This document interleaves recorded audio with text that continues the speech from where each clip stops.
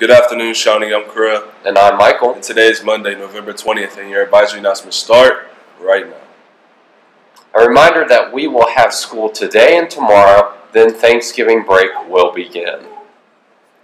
On Tuesday, seniors who have not applied to college or need more time and time to assist work on their college application will go to the Media Center during advisory to participate in the College Application Month. Admission representatives from Clark State will also be available to assist. Attention middle school students, the Washington, D.C. trip tumbler pickup will be on Tuesday, November 21st at 2.40 in the lobby. All orders must be picked up by 3 o'clock p.m. or they will not be available until after Thanksgiving break. And now for some fun facts and a bit of history. Today is National Absurdity Day. In 284, a Roman soldier Diocletian is proclaimed emperor. In 1272, Edward I is proclaimed King of England. In 1789, New Jersey is the first state to ratify the Bill of Rights. In 1929, Salvador Dali has his first one man art exhibit.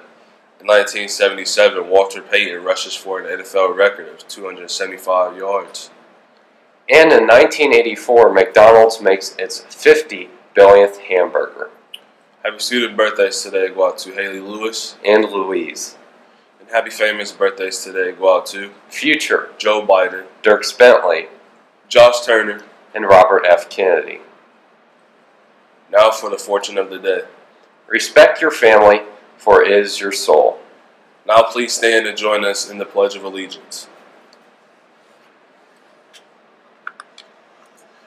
I pledge allegiance to the flag of the United States of America and to the republic for which it stands, one nation, under God, indivisible, with liberty and justice for all.